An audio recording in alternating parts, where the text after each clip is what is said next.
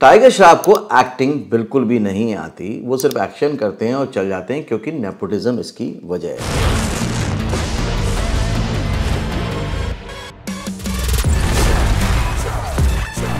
अर्जुन कपूर जिनको एक्टिंग बिल्कुल भी नहीं आती बड़ी बड़ी फ़िल्में मिल जाती क्योंकि वो नेपोटिज्म है। मैं इस धरती के मिट्टी के एक कण के लिए भी मरने को तैयार हूँ। Ananya Pandey because of nepotism चल रही है अगर आउटसाइडर होती तो कोई उनको पूछता भी कोई उनको फ़िल्मों में लेता भी। वो दिन जब मुझे एक्टर बनना था और अब मैं बन गई हूँ तो मैं बहुत खुश हूँ। वरुण धवन क्योंकि डेविड धवन के बेटे हैं इसलिए स्टार बन रहे हैं बाकी किसी को तो मौका ही नहीं मिलता। चिटिया खलाइया वे ओ गोरी तेरी चिटिया खलाइया वे यही सब कुछ आप भी सोचते हैं जब कभी भी फ़िल्म इंडस्ट्री में अपने बारे में सोचते हैं।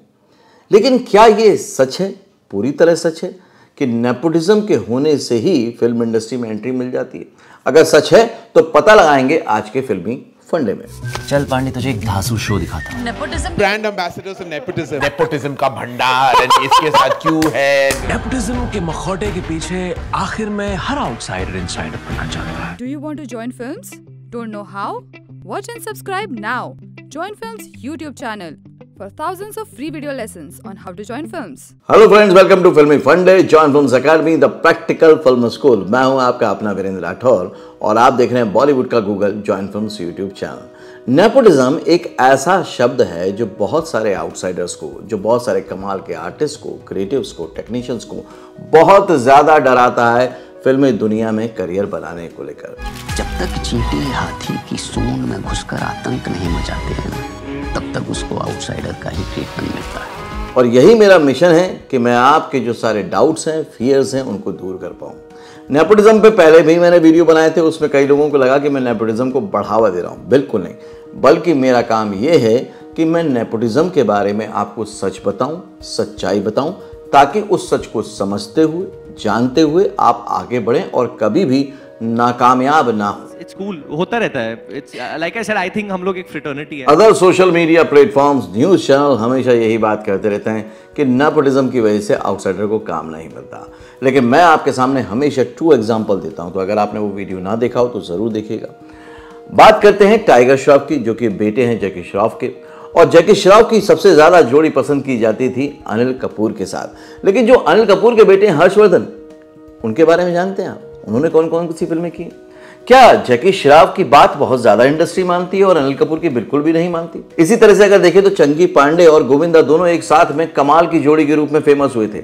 लेकिन चंकी पांडे की बेटी अनन्या पांडे चल रही हैं, बल्कि गोविंदा की बेटी टीना आहूजा नहीं चल पा रही हैं। क्या दोनों की पहचान इंडस्ट्री में अलग अलग है? क्या दोनों का स्टारडम कम है, बल्कि गोविंदा का तो स्टारडम ज़्यादा है? उनको ज़्यादा लोग मानते हैं, उन्होंने ज़्यादा फ़िल्में की हैं, ज़्यादा काम किया है, ज़्यादा डायरेक्टर के साथ काम किया है। इसी तरह से डेविड धवन के बेटे वरुण धवन चल जाते हैं और यश चोपड़ा के बेटे उदय चोपड़ा नहीं चल पाते। अब यश चोपड़ा से बड़ा तो कोई भी प्रोडक्शन हाउस फ़िल्म इंडस्ट्री में है ही नहीं। वरुण धवन है, डेविड धवन के बेटे, जो कि एक सक्सेसफुल डायरेक्टर ज़रूर हैं, लेकिन यश चोपड़ा के बराबर तो नहीं है। उतना बड़ा प्रोडक्शन हाउस तो नहीं है, उतनी बड़ी फैसिलिटी तो नहीं है, लेकिन वरुण धवन लगातार चलते जा रहे हैं। सुपरस्टार बन जा रहे हैं और वहीं पर उदय चोपड़ा शुरुआत की कुछ फ़िल्मों में आए, बहुत कोशिश की, लेकिन बिल्कुल भी नहीं चल पाए। ऐसे ही अगर आप देखेंगे तो बोनी कपूर और सुनील दर्शन दोनों ही प्रोड्यूसर हैं। सुनील दर्शन ने कमाल कमाल की फ़िल्म बनाई है। तो बोनी कपूर के जो बेटे हैं, अर्जुन कपूर, वो काफ़ी फ़िल्मों में नज़र आ जाते हैं। लेकिन वहीं उनके बेटे देखें शिव दर्शन, सुनील दर्शन के बेटे शिव दर्शन, उनको बिल्कुल भी काम नहीं मिलता, सिवाय एक जो उनकी फ़िल्म लॉन्च हुई थी, उसके अलावा कभी भी देखा नहीं गया। तो फिर क्या फ़र्क है? अगर नेपोटिज्म वाकई चलता है नेपोटिज्म वाकई कंपलसरी है नेपोटिज्म वालों को 100 परसेंट श्योर शॉर्ट गारंटी के साथ सक्सेस मिलती है तो फिर यहाँ पर यह एग्ज़ाम्पल कुछ और कह रहा है। आपकी इसी हरकत की वजह से पापा सर उठाकर जी नहीं पाए और मैं निकल पड़ा खुद को प्रूफ करने के लिए। I'm tough. I'm तो दोनों में फ़र्क क्या है? फ़र्क बहुत सिंपल सा है। दोनों ही लोगों को नेपोटिज्म का या कहें कि उनके माँ बाप का अनुभव का एक्सपीरियंस का फ़ायदा हुआ होगा। जो कि हर किसी को होता है। आपके भी पेरेंट्स का फ़ायदा आपको पहुँचता ही होगा, कहीं पर भी जाने में, कहीं पर भी आने में।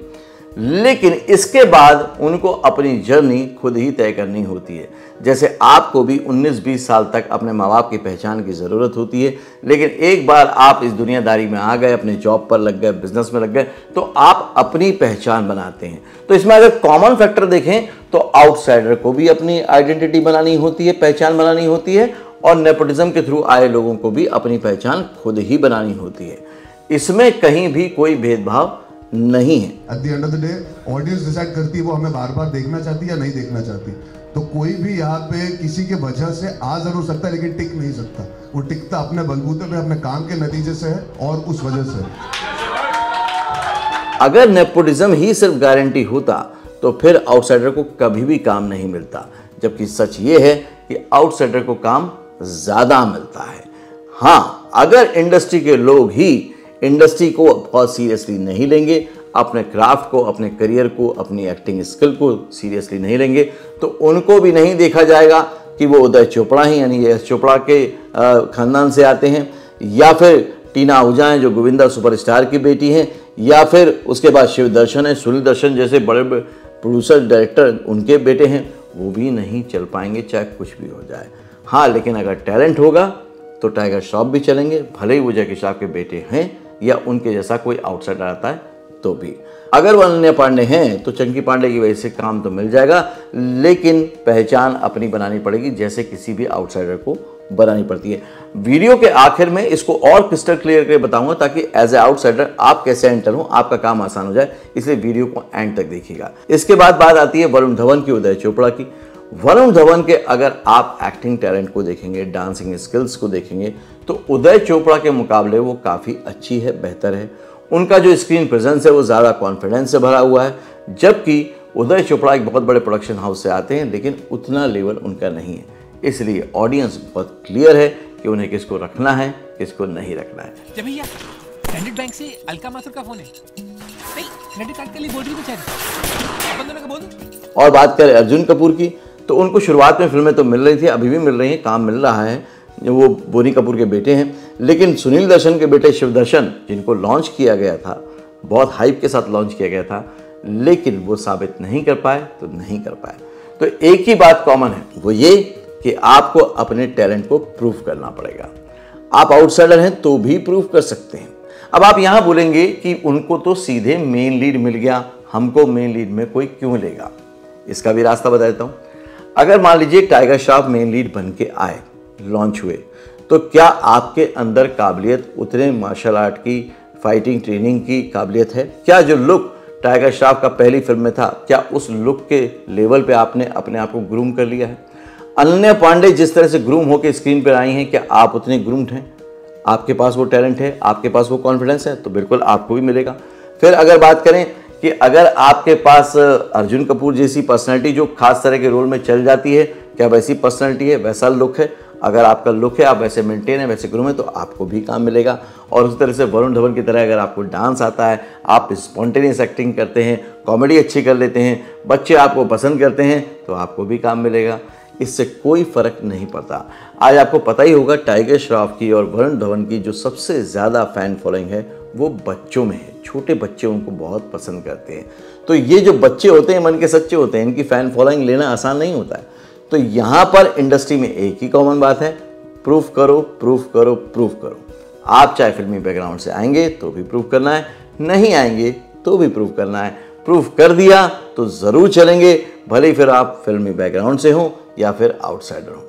अब आप अगर इसको क्लियर समझ गए हैं तो अब तरीका बताता हूँ आपको करना क्या है। आप आउटसाइडर हैं और वो इनसाइडर हैं, यानी कि नेपोटिज्म के तहत आते हैं तो उनमें और आप में जो सबसे बड़ा फ़र्क है, वो है नॉलेज का। इंडस्ट्री के बारे में वो आपसे बेहतर जानते हैं। नेटवर्किंग का। इंडस्ट्री की नेटवर्किंग उनके लिए आसान है। दो ही चीज़ें इंडस्ट्री के बारे में नॉलेज और नेटवर्किंग। ये नॉलेज और ये नेटवर्किंग अगर आपको आ जाए तो दोनों समान रूप से समान लेवल पे आ जाएँगे। तो कोई फ़र्क नहीं रह जाएगा, आपके पास भी उतने ही मौके होंगे। तो क्यों ना आज से अभी से अपनी नॉलेज को बढ़ाएँ। नेटवर्किंग कैसे करते हैं, कैसे इंडस्ट्री को समझते हैं, वो सीख जाएँ। आप बोलेंगे कि ये कैसे सीखा जा सकता है? बहुत आसान है। नॉलेज लेना है, आपको ट्रेनिंग लेना है तो उसके लिए जॉइंट फिल्म्स अकेडमी अवेलेबल है।